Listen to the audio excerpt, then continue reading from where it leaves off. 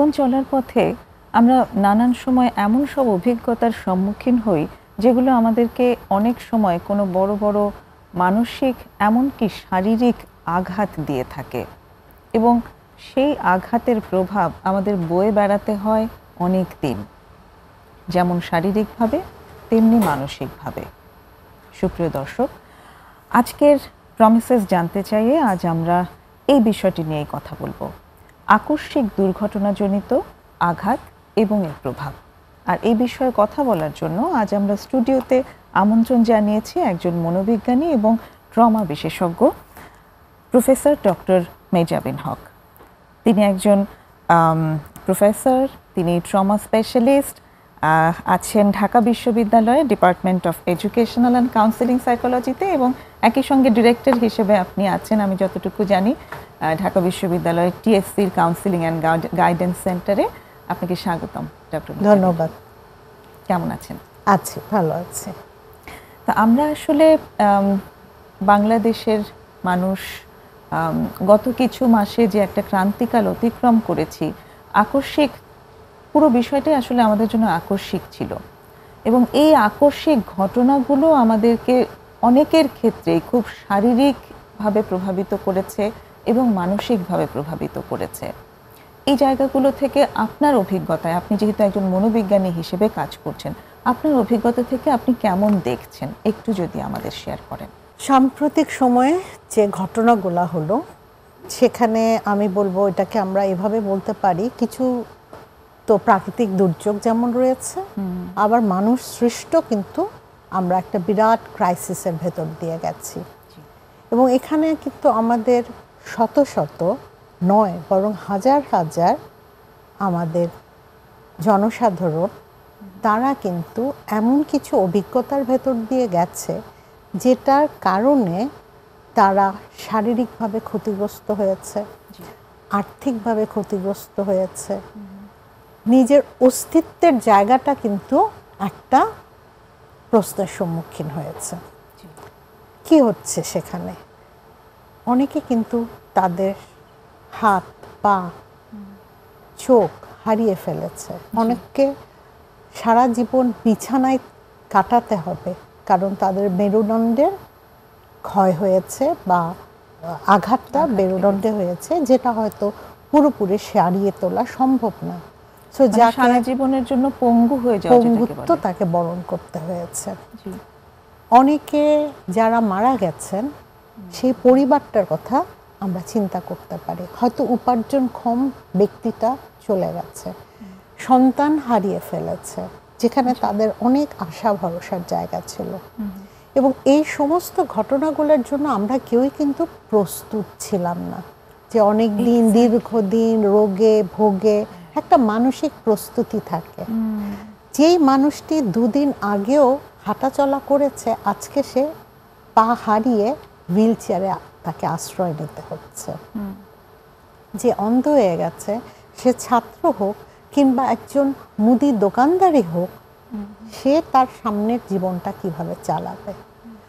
যখন এরকম কোনো ব্যাপার হয় এবং একই সাথে যখন বন্যার পানিতে মানুষ ভেসে যাচ্ছে ঘর বাড়ি চলে যাচ্ছে সে নিঃস্ব হয়ে যাচ্ছে তার পরিবারের সদস্য মারা গেছে তার উপার্জনের জন্য যে পশু পাখি পালন করত সেটাও তাদের ভালোবাসার জায়গা।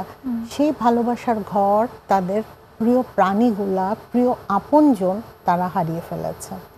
সো এগুলির যখন হয়ে থাকে সেটা কিন্তু আমাদের মধ্যে একটা তীব্র ধরনের মানসিক আঘাত। অর্থাৎ এগুলি আমাদের মর্মে আঘাত করে। সো যখন এরকম হয় যেটার জন্য আমরা প্রস্তুত ছিলাম না এবং এটা গ্রহণ করাটা খুব সহজভাবে যদি বলি যেটা হজম করাটা কিন্তু সহজ না আমরা বুঝতেই পারছি। কিন্তু এটার ফলশ্রুতিতে আমাদের মধ্যে যে পরিবর্তনগুলো হতে থাকে কি হতে পারে? আমাদের অনুভূতির জগতে পরিবর্তন হওয়া আমাদের চিন্তনে একটা বিরাট নেতিবাচক একটা প্রভাব চলে আসে হ্যাঁ? আমরা চিন্তা করতে পারি না যে আমরা আবার কর্মক্ষম হব বা আমি সামনের জীবনটা কীভাবে চালিয়ে নেব। আজকে যে শারীরিক কষ্ট মানসিক আঘাতের ভেতর দিয়ে যাচ্ছে সেটা অতিক্রম করা কোনোদিন সম্ভব হবে এই বিশ্বাসটাও কিন্তু অনেকে হারিয়ে ফেলে। তাহলে দেখা যাচ্ছে যে সে তার দৈনন্দিন জীবনের কাজকর্মগুলা কোনোভাবেই তো স্বাভাবিকভাবে করতে পারছে না। বরং দিনের পর দিন যখন তারা এরকম যাচ্ছে এবং সরাসরি যারা আমার কাছ থেকে সেবা নিতে এসেছে সেখানে আমরা কিন্তু দেখেছি যে তাদের মধ্যে নিদ্রাহীনতা। একটু ওই জায়গাটাতে আমি প্রশ্নটা যদি আচ্ছা। এভাবে করি ম্যাম যে আমরা আমি জেনেছি যে খুব ক্লোজলি আপনি এবং আপনার যে দল তারা কাজ করছেন যারা আহত হয়েছে শারীরিকভাবে এমনকি মানসিকভাবে। তাদের তাদেরকে এরকম দলবদ্ধভাবে কাজ করা হচ্ছে তাদের সাথে আলাদা আলাদাভাবে প্রত্যেককে ব্যক্তিগতভাবে মানসিক সহায়তা দেওয়া হচ্ছে। এই অভিজ্ঞতা থেকে আমাদেরকে যদি তারা এখন কিসের ভেতর দিয়ে যাচ্ছে আচ্ছা। সেই জায়গাগুলো আচ্ছা খুব সুন্দর প্রশ্ন। একটু বলে নেই যে একদম জুলাই মাস থেকে কিন্তু আমরা বিনামূল্যে কাউন্সিলিং সেবা দিচ্ছি। ঢাকা বিশ্ববিদ্যালয়ের এডুকেশনাল অ্যান্ড কাউন্সিলিং সাইকোলজি বিভাগ এবং Bangladesh educational and counselling psychology society এবং ইএমডিআর বাংলাদেশ অ্যাসোসিয়েশনের পক্ষ থেকে একসাথে আমরা এই সেবাগুলা একটা টিম গঠন করে সেবাটা দেওয়া হচ্ছে। সো অনলাইন কাউন্সিলিং সেবা অফলাইন কাউন্সিলিং সেবা প্লাস হাসপাতালে যে বিশেষ করে ঢাকা মেডিকেল কলেজ হসপিটালে যে ক্যাজুয়ালিটি বিভাগে যেও কিন্তু আমরা বেড সাইড কাউন্সিলিং সেবাটা প্রদান করা হয়েছে। জি। এবং এখানে তো অনেকে একদম সরাসরি এসেও নিচ্ছে এবং আমরা গ্রুপ হিসাবেও কাজ করা শুরু করেছি। সো ওই অভিজ্ঞতার আলোকে যদি বলি যে এই জুলাই এবং অগস্ট তো পার হয়ে গেল এখন সেপ্টেম্বর। এর মধ্যে কতগুলো কমন বিষয় যেগুলি উঠে এসেছে সেই জায়গাগুলাই বলছি যে নিদ্রাহীনতা খুব অস্থিরতা প্রচণ্ড উদ্বেগ উৎকণ্ঠা দুঃস্বপ্ন দেখে ঘুম ভেঙে যাওয়া প্যানিক অ্যাটাক যেটাকে বলছি সেটা হওয়া রেস্ট নিতে না পারা অর্থাৎ সে যে বিশ্রাম করবে একটু রিল্যাক্স হয়ে থাকা এই জায়গাটা হচ্ছে না। নানা রকম নেতিবাচক ভাবনা অনুভূতি এবং শারীরিক কষ্ট। সেই জায়গাটা শারীরিক কষ্ট শুধু সে আঘাত পেয়েছে সেটার কারণে না। যখন একজন মানুষ এই ধরনের অনুভূতি এবং চিন্তনের মধ্য দিয়ে যায় নেতিবাচক চিন্তনের ভেতর দিয়ে যায় তখন কিন্তু শারীরিকভাবেও সে কিন্তু খুব অস্থিরতা অনুভব করে। তার ব্লাড প্রেশারের সমস্যা হয়। হ্যাঁ। তারপরে তার হার্টবিট বেড়ে যাচ্ছে প্যালপিটেশন হচ্ছে। সো এই বিষয়গুলো কিন্তু তাকে অস্থির করে তোলে। একই সাথে তার ঘুম হচ্ছে না। সে তার খাবার খাওয়া সময় মতন খাবার খাওয়া এখানে অসুবিধা হচ্ছে। সে ভুলে যাচ্ছে। কোনো কিছু মনে রাখতে পারছে না। এই বিষয় বলা হয়ে থাকে। অর্থাৎ যে কোনো ধরনের শারীরিক যে অনুভূতিগুলো আমাদের হয় সেগুলি সে প্রচণ্ড রকমভাবে অনুভব করতে থাকে। আমরা এটাকে বলি ওভার সেন্সিটিভিটি এই জায়গাটাও কিন্তু হয়ে থাকে এবং সবচেয়ে যেটা কষ্টের জায়গাটা বারে বারে সেই দৃশ্যগুলা কিন্তু ঘুরে ঘুরে তার সামনে তার চোখের সামনে ভাসতে থাকে যেটাকে আমরা ফ্ল্যাশব্যাক বলি। এখন এগুলির ভেতর দিয়ে কিন্তু মানুষ যাচ্ছে। একটা বিষয় যে একটা ঘটনা ঘটার পর এরকম সিমটম যেগুলি এগুলি হওয়াটা খুব স্বাভাবিক। যাদের মধ্যে ঘুরে দাঁড়ানোর যে আমরা যেটাকে রেজিলিয়েন্সি বলে অর্থাৎ হোঁচট খেয়ে পড়ে গেলেও আবার সেখান থেকে উঠে দাঁড়ানোর যে মানসিক শক্তি সেটা তো সবার এক হয় না। যাদের আছে তারা হয়তো এটাকে ওভারকাম করতে পারবে। তো এই ভিন্নতাগুলো তো রয়েছে। কারও হয়তো বেশি সময় লাগবে কারও কম সময় লাগবে। যাদের একটু রেজিলিয়েন্স বেশি বলছেন তাদের কম সময় হবে আর যাদের বেশি লাগছে তাদের একটু সাহায্য লাগবে। এটা তার মানে একটা একটা বিরতির সময় হয়ে এলো আমরা কি এসে তারপর হ্যাঁ, বাকি আলোচনাটা করতে পারি? নিশ্চয় প্রিয় দর্শক একটা বিরতির সময় হয়ে এলো সঙ্গেই থাকবেন আশা করছি।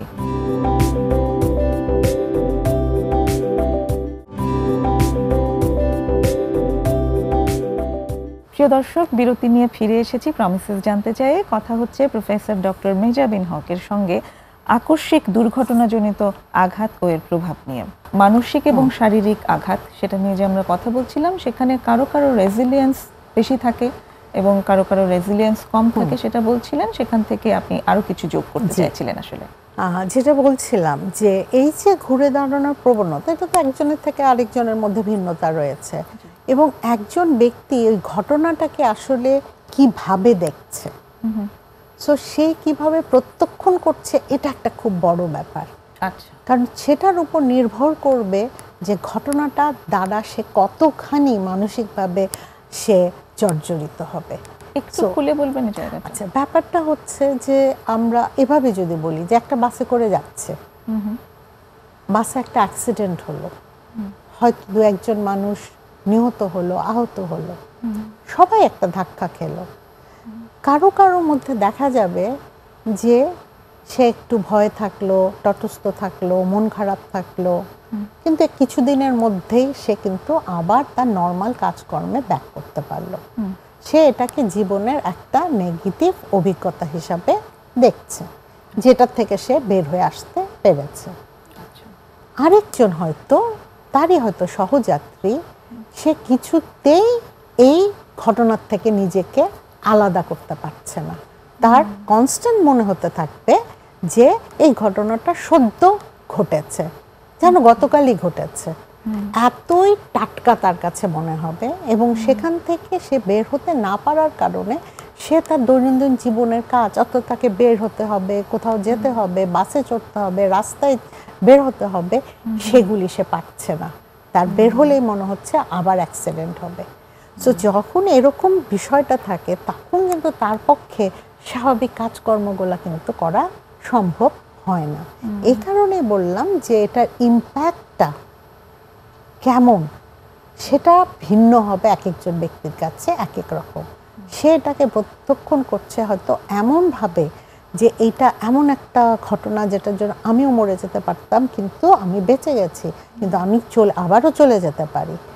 এটা তার মনের মধ্যে একটা বিরাট রদবদল একটা পরিবর্তন এনে দিয়েছে। এবং সেটার থেকে সে আবার যে ঘুরে দাঁড়ানোর বিষয়টা সেটা করতে পারছে না। অর্থাৎ তাকে তখন আসলেই পেশাদার মনোবিজ্ঞানের মানে মনোবিজ্ঞানীর একজন সাহায্যের প্রয়োজন হবে। তো যখন এরকম হয় তখন এটা কিন্তু এক ধরনের ডিসঅর্ডার এক ধরনের মানসিক অসুস্থতার দিকে মানসিক অসামঞ্জস্যতার দিকে চলে যাচ্ছে। তার মধ্যে প্রধান প্রথম যেটা হয় আমাদের যদি প্রথম এক মাসের মধ্যে তারপরেও যদি এটা কন্টিনিউ করে তখন আমরা সেটাকে অ্যাকিউট স্ট্রেস ডিসঅর্ডার হিসাবে দেখে থাকি। এর পরেও যদি এটা চলতে থাকে তো বেশিরভাগ মানুষের এক মাসের মধ্যে ঠিক হয়ে যাচ্ছে কারও তিন মাসের মধ্যে হচ্ছে।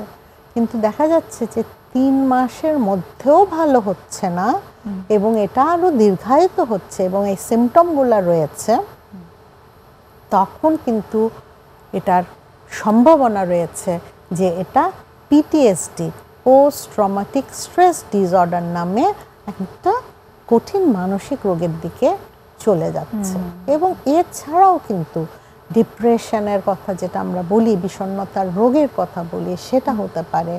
এমনকি আমাদের, আমরা বলি যে পার্সোনালিটির মানুষের ব্যক্তিত্বের মধ্যে পরিবর্তন হয়ে যেতে পারে ট্রমা থেকে। কারণ এটা একটা ট্রমা ট্রমাটিক একটা ঘটনা। সেখান থেকে কিন্তু আমরা ডিসোসিয়েটিভ ডিসঅর্ডার সেই রকম মানসিক রোগেও কিন্তু একজন চলে যেতে পারে।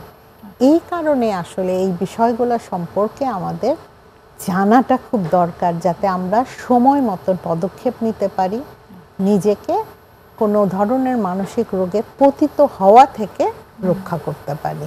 দারুণ বলেছেন এটা খুব ইম্পর্ট্যান্ট একটা জায়গা যে আমি যদি নিজের ভেতরে বা আমার পাশের কারও ভেতরে এই ধরনের সিমটম খেয়াল করতে থাকি তাহলে যেন আগে থেকেই সে যেন প্রফেশনাল কারও সাহায্য নেয় সেই জায়গাটা যেন এনশিওর করা যায়। এটা খুব ইম্পর্ট্যান্ট আদারওয়াইজে আপনি বলছেন যে যে কোনো মানসিক রোগ হয়ে যাওয়ার একটা সম্ভাবনা হ্যাঁ। থাকে। সেটা পিটিএসডি হোক সেটা ডিসোসিয়েটিভ ডিসঅর্ডার হোক বা অ্যাকিউট স্ট্রেস ডিসঅর্ডার হোক। তো এটা খুব ইম্পর্ট্যান্ট একটা ইনফরমেশন একটা জায়গা আমার যেমন অনেক কিছু মিলে যাচ্ছে এইভাবে যে এই যে মানসিক অস্থিরতা শারীরিক বিভিন্ন এই যে কি বলব এই যে আমার একটা অঙ্গ চলে যাচ্ছে। মানে অঙ্গহানি। এই জিনিসগুলো সাথে কিছু জায়গায় আমি যেন ওই মিলটাও পেয়ে যাচ্ছি যে কোনো না কোনোভাবে সাবস্ট্যান্সের সাথে জড়িয়ে যাওয়া কোনো না কোনো ড্রাগের ব্যবহারের সঙ্গে জড়িয়ে যাওয়া এটার একটা সম্ভাবনা যেন আমি কোথাও না কোথাও দেখছি। আপনি এই জায়গাটাতে কি বলবেন? হ্যাঁ এটা খুব আমি মনে করি যে এটার সঙ্গে খুব প্রাসঙ্গিক একটা বিষয় চলে এসেছে। অ্যাকচুয়ালি কি হয়? যার যে অবস্থায় থাকুক না কেন সে কিন্তু সেই পরিস্থিতির সঙ্গে সেই অবস্থার সঙ্গে নিজেকে মানিয়ে নেওয়ার জন্য চেষ্টা করে। এবং এই যে মানিয়ে নেওয়ার জন্য যে চেষ্টা করে না কোপ করার যে চেষ্টাটা এটা যে সব সময় কোনো স্বাস্থ্যকর উপায় হবে তা না।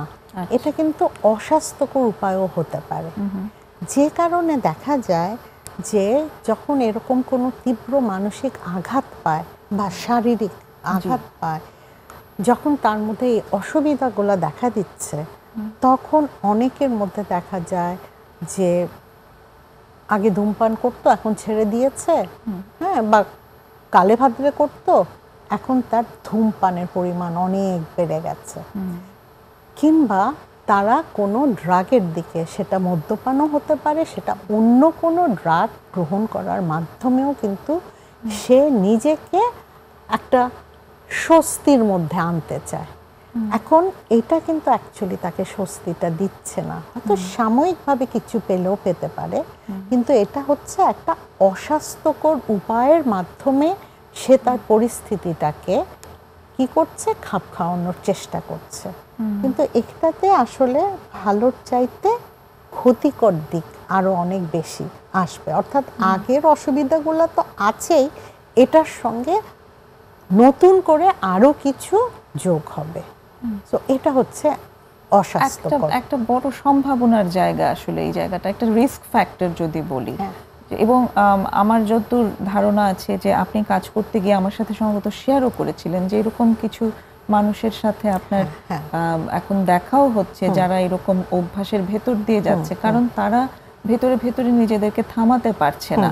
এত বেশি হোপলেসনেস নিজেদের ভেতরে কাজ করছে যে এই যে আপনি বললেন যে এটাতে আসলে সমস্যা সমাধানের চাইতে অন্য ক্ষতি হওয়ার সম্ভাবনা আছে সেই ক্ষতির জায়গাটি সে কনসিডারই করতে পারছে না। তার কাছে মনে হচ্ছে যে জীবনে আসলে পাওয়ার কি আছে এই ক্ষতি হলে হয়ে যাক কিছুই আসে যায় না। এইরকম একটা ব্যাপার। আমাদের একটা গ্রুপ সেশনে এরকম একজন বলেছিলেন যে সে যেহেতু আর কিছুতেই সে নিজেকে সামাল দিতে পারছে না সে ঘুমাতে পারছে না এবং এরকম আমি একাধিক পার্সন পেয়েছি যারা বলেছে সে অমুক ঘটনার পর থেকে আজকে দেড় মাস সময় আমি একটা রাতও ঠিক মতন ঘুমাতে পারি না খুব এক দেড় ঘণ্টা সর্বোচ্চ ঘুমাচ্ছি কিন্তু ঘুম ভেঙে যাচ্ছে বারে বারে আর ঘুম ভেঙে গেলে তো একেবারেই আর ঘুম আসে না। এই ব্যাপারগুলো কিন্তু হচ্ছে। তো ওরকম একবার একজন ভদ্রলোক যিনি এই ধরনের কিছু কাজের সাথে জড়িত রয়েছে তাকে বারে বারে ওই ট্রমাটিক যে ঘটনাগুলা সেটা সম্মুখীন হতে হচ্ছে। টিভি ভিডিও টিভি দেখে সোশ্যাল মিডিয়াতে দেখে ভিডিও দেখে কিংবা সরাসরি যারা ভিকটিম তাদের মুখ থেকে তাদের অভিজ্ঞতা শুনে। সে বলছিলেন যে আমি যখন নিজে এটা কোপ করতে পারছি না আমি তখন আমার স্মোকিং বেড়ে গেছে এবং আমি ড্রিঙ্ক করা শুরু করেছি। হ্যাঁ? সো সে কিন্তু আসলে নিজেকে রক্ষা করার জন্য করছে কিন্তু এগুলি অ্যাকচুয়ালি তাকে রক্ষা করবে না। করবে এটা এবং এটা একটা ঘটনা এরকম আসলে আরও অনেক। আমি আরেকটা বলছি। একটা বিরতি নিয়ে আসি আপা আপনার আপনার কাছ থেকে এই অভিজ্ঞতাগুলোই শুনব আসলে কারণ কি হচ্ছে সেই চিত্রগুলো আমাদের জানার দরকার আছে। তা আদারওয়াইজ আমরা খুব মানে হাইপথেটিক্যাল কথা যখন বলি সেটার গুরুত্বটা অনেক বরং কম থাকে। একটা বিরতি নিয়ে এখনই ফিরব। প্রিয় দর্শক, সঙ্গে থাকুন, একটা বিরতি নিচ্ছি।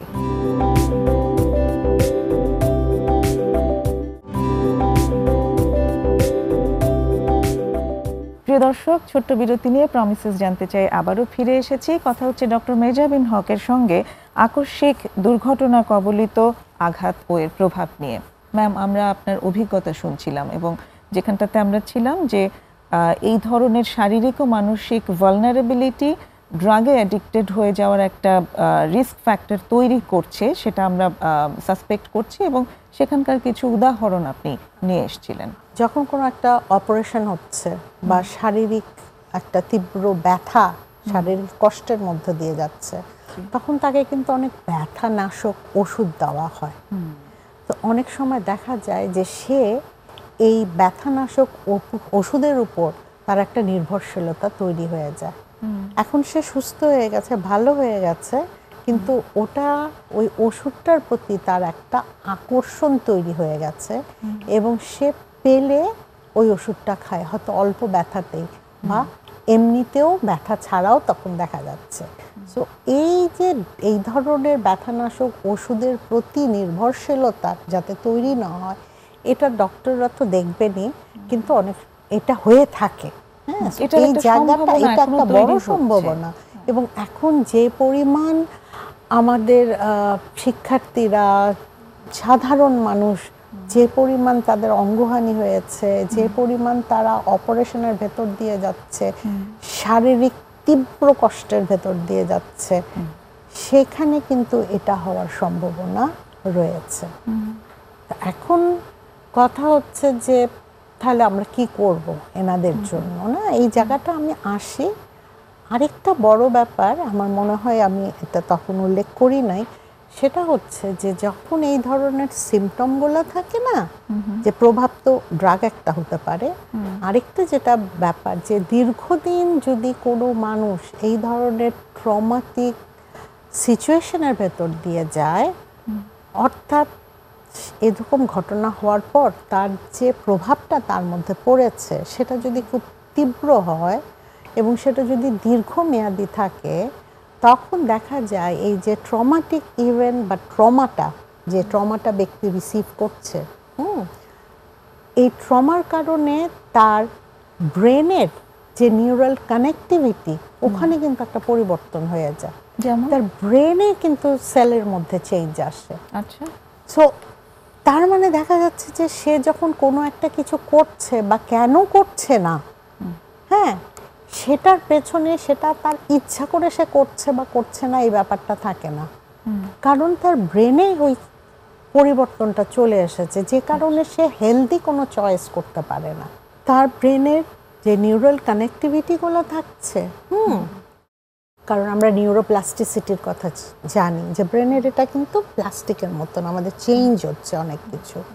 কিন্তু দীর্ঘদিন এই ট্রমার মধ্যে থাকার কারণে তার মধ্যে হচ্ছে কি, তার ওই নেগেটিভ কানেকশনগুলা সেটা এত বেশি অ্যাক্টিভ হয়ে যাচ্ছে, সেটা সামনে চলে আসছে, তার লাইফের যে পজিটিভ অভিজ্ঞতাগুলা, তার যে শক্তিগুলা, তার যে সাহস যেগুলি তার রিসোর্স ছিল সেগুলি কিন্তু মানে একদম কোনায় পড়ে যাচ্ছে একটা ছোট্ট জায়গায় চলে যাচ্ছে। এগুলি চাপা পড়ে যাচ্ছে বড় করে ফুটে উঠছে। হ্যাঁ অনেকটা হচ্ছে কি আমাদের ব্রেনের যদি আমরা বলি যে আমাদের ব্রেনের প্রিফ্রন্টাল কর্টেক্স আমাদের চিন্তন এগুলির জন্য দায়ী কাজ করছে।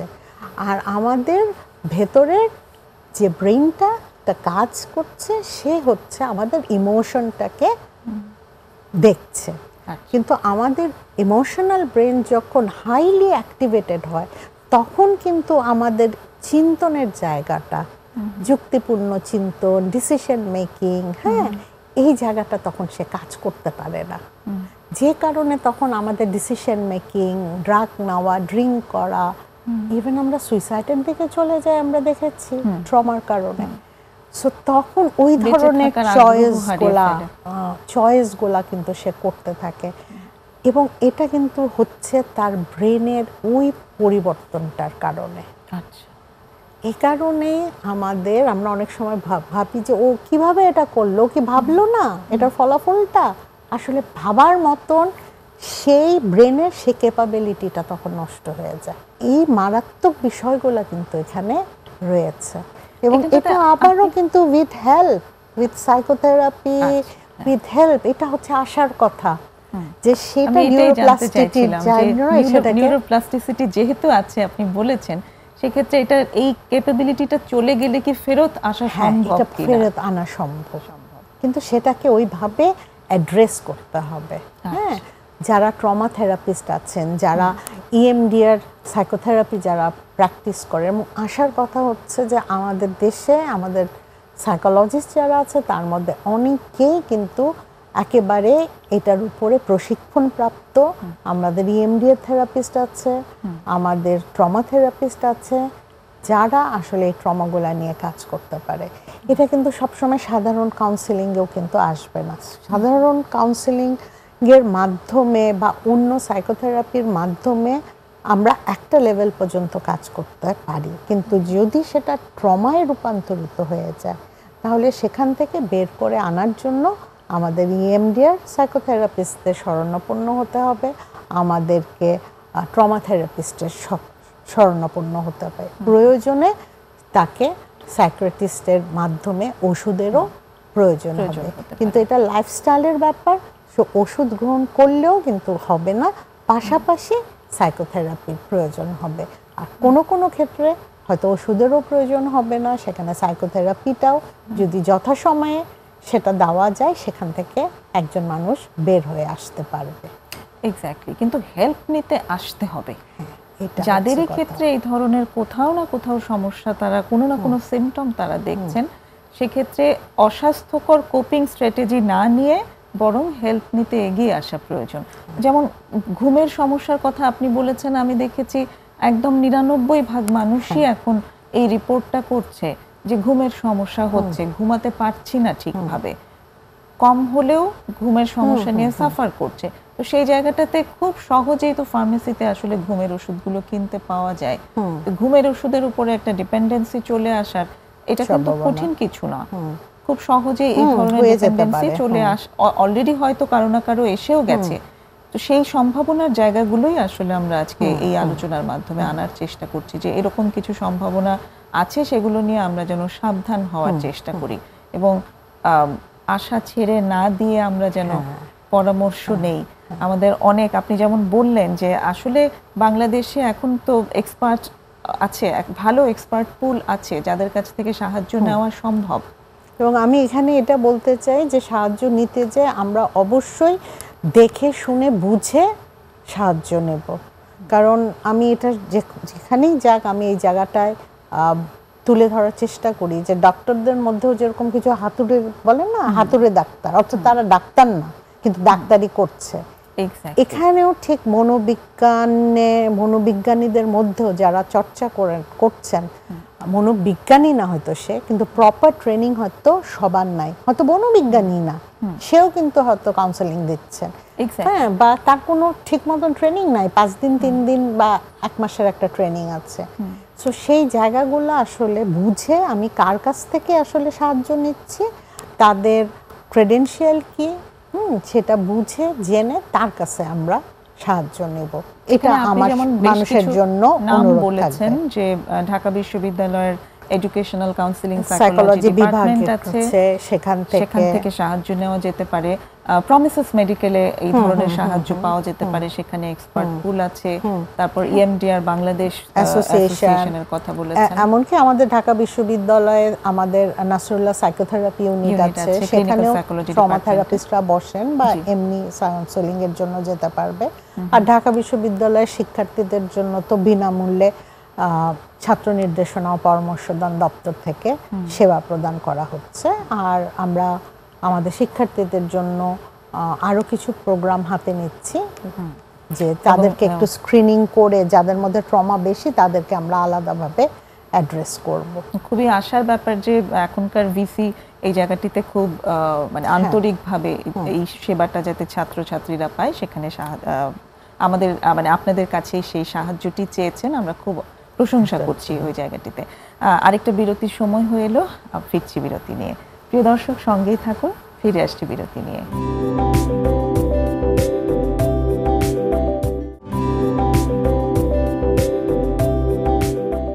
ফিরে এসেছি ছোট্ট বিরতি নিয়ে প্রমিসেস জানতে চাইয়ে। কথা হচ্ছে, আকস্মিক দুর্ঘটনাজনিত আঘাত ও এর প্রভাব নিয়ে প্রফেসর ডক্টর মেজাবিন হকের সঙ্গে। ম্যাম, আপনার কাছ থেকে আমরা ট্রমা নিয়ে জেনেছি। এখন যে ধরনের ভলনারেবিলিটি চলছে, শারীরিক এবং মানসিক সেই জায়গাগুলো নিয়ে আমরা খুব বিস্তারিত জেনেছি। আপনার অভিজ্ঞতার আলোকে আপনি বলেছেন, কারণ আপনি খুব ক্লোজলি এদের সাথে কাজ করার সুযোগ পেয়েছেন। এই জায়গাটি খুব অ্যাপ্রিসিয়েটিং যে আমাদের যে মানসিক স্বাস্থ্য কর্মী যারা আছে, তারা দলবদ্ধ হতে পেরেছে এবং তারা বিভিন্নভাবে যে বেশ নিঃশব্দে কাজ করা শুরু করে দিয়েছে। পর একদম যখন থেকে প্রয়োজন হয়েছে যখন থেকে অসুবিধা শুরু হয়েছে তখন থেকেই কিন্তু কাজ করতে শুরু করেছে এই দল। যেটা নিয়ে কোথাও কোনো অ্যানাউন্সমেন্ট খুব অতটাও হয়নি। আমরা প্রচার প্রচার আমরা অত করিনি। কিন্তু আমরা তারপরও অনেকের কাছ থেকে ডাক পেয়েছি পাচ্ছি সেই জায়গাটাতে আমরা সেবা দিয়ে যাচ্ছি এবং সেটাই আসলে মানসিক স্বাস্থ্য কর্মী হিসেবে আমাদের প্রফেশনালিজম এটাই। তো সেই আমার কাছে খুব ভালো লাগে যে এখানে এই টিমে আমিও কাজ করার যে সুযোগ পেয়েছি। আমি অত্যন্ত গর্বিত আপনার মতো একজন সুপারভাইজার পেয়েছি আমি। আপনার সুপারভিশনে যে আমরা এই সেবাগুলো দিতে পারছি দারুণ ব্যাপার। তো এই যে আমরা দিচ্ছি সেবা সেটা তো একরকম। এছাড়া কেউ যদি নিজেই নিজের জন্য করতে চায় নিজেই নিজের যত্নটা করতে চায় সেখানে সে কীভাবে নিজেকে করতে পারে? কারণ অলরেডি অনেক সিমটম নিয়ে আমরা কথা বলেছি যেগুলো নিয়ে সত্যিই অনেকে সাফার করছে। কিন্তু হয়তো এখনও যায়নি কোনো প্রফেশনালের কাছে কিংবা অতটা প্রয়োজন হয়তো তার নেই। তো নিজে কি করে নিজেকে সাহায্য করতে পারবে? সব সময় যে আমাদের সবার প্রফেশনালের কাছে মানে প্রফেশনাল সেবাটা নেওয়ার প্রয়োজন হবে তাও না। আবার অনেকের প্রয়োজন থাকলেও সে পৌঁছাতে পারে না ওই পর্যন্ত। তো সেটা একটা দিক তাদেরকে তাদের কাছে আমরা কীভাবে পৌঁছাতে পারি? এটা একটা বিষয় সেটা নিয়ে আমরা আলাপ করতে পারি। এটা পরবর্তীতে। কিন্তু নিজে থেকেও কিন্তু আমরা অনেক কিছু করতে পারি। অর্থাৎ একজন মানুষ যখন ট্রমাটাইজড হচ্ছে তখন কিন্তু তার নিজের যত্নের ব্যাপারটার দিকে খেয়াল রাখতে হবে। হ্যাঁ? যাতে সে এমন অবস্থায় চলে না যায় যে নিজের যত্নের জন্য সে কিছুই করছে না। হুম সব কিছু ছেড়ে দিয়েছে। জীবনের প্রতি একটা বৃতৃষ্ণা চলে এসেছে। তার মধ্যে কোনো আনন্দানুভূতি কাজ করছে না। হ্যাঁ? সব কিছুতে মনে হচ্ছে কি হবে? হ্যাঁ? এই জীবনের কোনো লাভ নাই বা কিছুই হওয়ার নাই এভাবেই হবে। এই বিষয়গুলো মারাত্মক এই কারণে যে এইগুলি ওই যে বারবার বলছে এগুলি যদি চলতে থাকে শুধু মানসিক রোগ হবে না একজন মানুষ কিন্তু আত্মহত্যা করার মতন পদক্ষেপ গ্রহণ করে ফেলতে পারে। So this is what trauma does to us so এই ব্যাপারটাও কিন্তু আমাদের মাথায় রাখতে হবে। তাহলে ট্রমা পর্যন্ত যাতে আমাদের না যেতে হয় যা- অভিজ্ঞতার ভেতর দিয়ে আমরা গেছি সেখানে আমরা নিজেরাও কিছু করতে পারি। কীভাবে? নিজেদের যত্ন। নিজের যত্নর দিকে মনোযোগী হওয়া। নিজের যত্ন বলতে কি হচ্ছে? নিজের মনকে ভালো রাখার জন্য কিছু পদক্ষেপ গ্রহণ করা নিজের শরীরের যত্ন মনের যত্ন এটা নেওয়া। আচ্ছা। শরীরের যত্ন ঠিক টাইম মতন যদি আমরা খাবারটা খাই ঠিকভাবে গোসল করি ঠিক সময় ঘুমানোর চেষ্টা করি ঘুম যতটুকুই হোক ঘুমাতে যাচ্ছি এগুলি গ্রহণ করার মতন অর্থাৎ একটা স্বাস্থ্যকর দৈনন্দিন জীবনের একটা রুটিন মেনে চলার চেষ্টা করা। কিছু ভালো বই পড়া হ্যাঁ? ভালো মুভিও দেখতে পারি ভালো গানও শুনতে পারি। যার মনের শান্তির জন্য যে যার ধর্মের যে যেই ধর্মেরই হোক না কেন সে কিন্তু কোনো উপাসনা প্রার্থনা নামাজ পড়া তেলাওয়াত করা এরকম কাজ করতে পারে। যদি মানুষের সেটা মানসিক প্রশান্তি প্রশান্তি দেয় যাকে। সে অন্যের উপকার করতে পারে। সমাজ সেবামূলক কোনো কাজ করতে পারে। আচ্ছা। যেটার মাধ্যমে সে নিজেকে ব্যস্ত রাখতেও পারে এবং আমরা জানি যে অন্যের উপকারের মাধ্যমে কিন্তু নিজের মনে একটা প্রশান্তি আসে। সো এই কাজগুলা কিন্তু আমরা নিজেরা কম বেশি করতে পারি। নিজে ভালো থাকার চেষ্টা এবং আমার পাশের জনকে ভালো থাকার চেষ্টাটা আমরা করতে পারি। এইগুলি করার সাথে সাথে আমরা মনে মনে কিছু আরও কিছু কাজ করতে পারি। যেমন? যেমন আমরা নিজেকে কিছু ইতিবাচক কথা বলতে পারি। আচ্ছা। হুম? যখনই আমার ভাবনার মধ্যে নেতিবাচক ভাবনাটা আসছে আমি সেটাকে অস্বীকার করব না। আমি হয়তো ভাবছি হ্যাঁ এখন আমার এরকম মনে হচ্ছে যে জীবনটা অর্থহীন। এটা আমার এই মুহূর্তের অনুভূতি। কিন্তু জীবনটা অর্থপূর্ণও করা যায়। আচ্ছা। তাহলে এই যে শিফটিংয়ের একটা জায়গা একটা নেতিবাচক অভিজ্ঞতার থেকে আস্তে আস্তে সেটাকে ইতিবাচক অভিজ্ঞতায় রূপান্তরিত করা। হুম। সো আমরা এটাকে বলি যে ইতিবাচক আত্মকথন আমি পারব। এতদিন মনে হচ্ছিল আমি পারব না। আমি কিন্তু বলতে পারি নিজেকে আমি পারব। আমি একটু করে পারব। আজকে আমি গতদিনের চাইতে ভালো থাকব।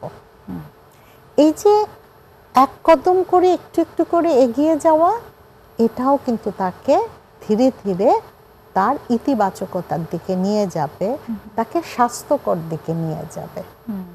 তো এরকম কিছু মানসিক ব্যায়াম আছে শ্বাস প্রশ্বাসের ব্যায়াম আছে। আচ্ছা। কারণ যখন আমরা এই ধরনের অভিজ্ঞতার মধ্যে দিয়ে যাই তখন কিন্তু আমরা আসলে ঠিকঠাকভাবে শ্বাস প্রশ্বাস নিতে পারি না।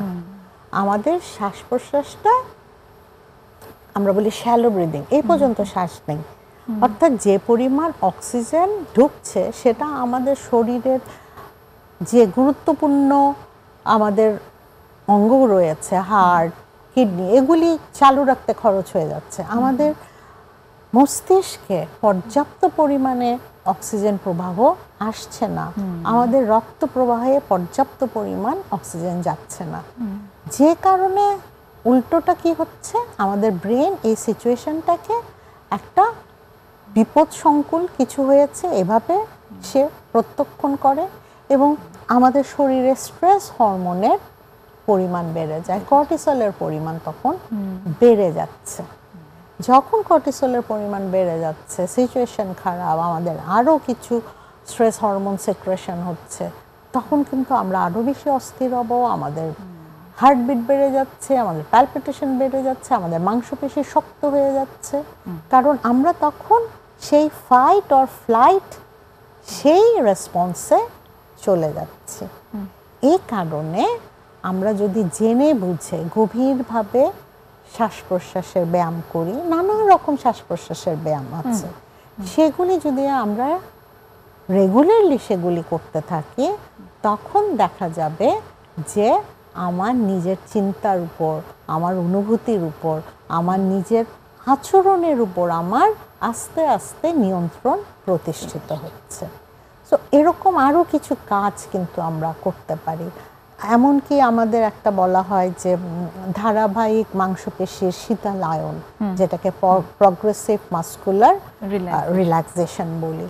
যে এরকম আসলে অনেক রকমের কিছু এক্সারসাইজ আছে। যেগুলো তারা নিজেরাই করতে পারেন কিংবা তারা যদি প্রফেশনালি সাহায্য নেয় সেখান থেকে শিখে আসলেন তারা নিজেরাও করতে পারেন। তো এরকম অনেক কিছু কিন্তু আমরা আমাদের পন্থা আছে যার মাধ্যমে আসলে আমরা নিজেকে ভালো রাখতে পারি। অনেক ধন্যবাদ ম্যাম যে এতগুলো পন্থার কথা অলরেডি আপনি বললেন এবং সব সময় এই সুযোগ আছে যে কোনো একজন প্রফেশনালের সাথে যদি আমরা দেখা করতে পারি কথা বলতে পারি সেখানে আরও অনেক পদ্ধতি জানা সম্ভব এবং সত্যি আমাকে কি আহত করছে বেশি সেটার ওই গোড়ার জায়গাটা শিকড়টা সম্পর্কে যখন আমরা জানতে পারি সেই নলেজটাও আমাদেরকে এখান থেকে বেরিয়ে আসতে সাহায্য করে।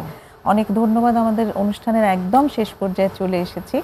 আশা করি আমাদের দর্শকরা আজকের এই আলোচনা থেকে উপকৃত হয়েছেন। সুপ্রিয় দর্শক, আমরা আজকের আলোচনা এখানেই শেষ করছি। আগামী অনুষ্ঠান দেখার জন্য আমন্ত্রণ রইল। খোদা হাফেজ।